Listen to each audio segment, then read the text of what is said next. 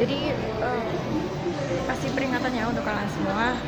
Jangan pernah menghina yang namanya TKI TKI itu kerjanya halal dan nggak pernah tuh minta-minta sama kalian yang menghina-menghina itu.